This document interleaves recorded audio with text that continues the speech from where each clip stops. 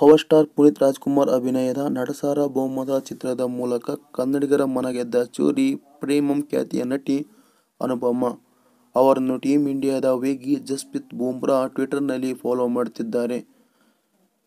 ಇವರಿಬ್ಬರ ನಡುವೆ ಪ್ರೀತಿ, ಪ್ರೇಮ ಇರಬಹುದೆಂದು ಸಿನಿಕರು ವ್ಯಕ್ತಪಡಿಸುತ್ತಿದ್ದಾರೆ. ಇಂಥದ್ದೊಂದು ಊಹೆಗೆ ಕಾರಣವಾಗಿದ್ದು ಟೀಮ್ ಇಂಡಿಯಾದ ಕ್ರಿಕೆಟಿಗ ಜಸ್ಪ್ರೀತ್ ಬೂಮ್ರಾ ಅವರು ತಮ್ಮ ಟ್ವಿಟರ್ ಖಾತೆಯಲ್ಲಿ ಕೇವಲ ಇಪ್ಪತ್ತೈದು ಜನರನ್ನು ಮಾತ್ರ ಫಾಲೋ ಮಾಡುತ್ತಿದ್ದಾರೆ.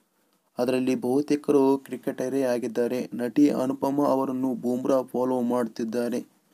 ಇದರಿಂದಾಗಿ ಇವರಿಬ್ಬರ ನಡುವೆ ಪ್ರೀತಿ, ಪ್ರೇಮ ಇರಬಹುದೆಂದು ಶಂಕೆ ಇದೆ.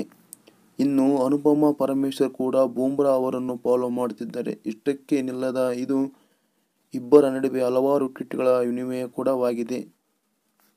ಬೂಮ್ರಾ ನಡುವೆ ಪ್ರೀತಿ ಪ್ರೇಮ ನಡೆಯುತ್ತಿದೆ ಎಂದು ಸಹ ಕೇಳಿಬರುತ್ತಿದೆ.